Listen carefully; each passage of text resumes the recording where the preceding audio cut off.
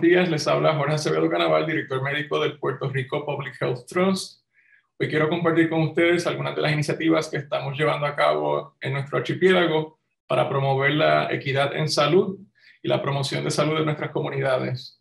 Eh, específicamente quiero hablarles del programa que tenemos para la, a través del despliegue, entrenamiento y, e integración de promotores de salud en las comunidades, aumentar la equidad y la salud comunitaria en Puerto Rico, al igual que los invito a todos que nos estén escuchando a que si han padecido o conocen a alguien que ha padecido de COVID-19, se unan a la red de pacientes de Puerto Rico, que actualmente estamos recopilando datos sobre los efectos tanto clínicos como psicosociales del COVID-19 y sus secuelas a largo plazo para ayudar a informar la respuesta al COVID-19 y para promover comunidades saludables en Puerto Rico.